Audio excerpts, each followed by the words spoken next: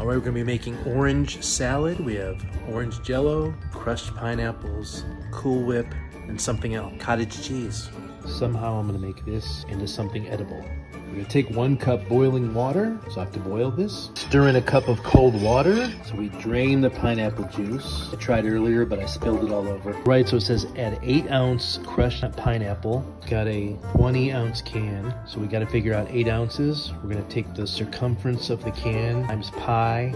We're gonna let X equal the spoon, and then times the circumference of the bowl. I'm gonna carry the one, gonna just guess. Right, Hobo? Now we're gonna add in 12 ounces of cottage cheese. I have a 24 ounce. Darn it, I gotta do more math. So we take our Kool-Aid and we fold it in. I don't even know what that means. Someone did it for me earlier. Fold it in.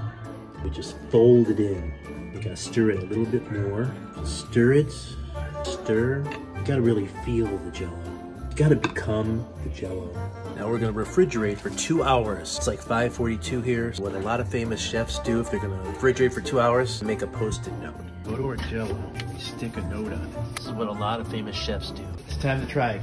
Pepe, the official spoon. He's trying my orange It used to be Salad. my soup chip almost 14 years ago, so 14 years ago. I don't know what he said. Here he goes. good. Good? Yeah. This is really good. Right, Hobo?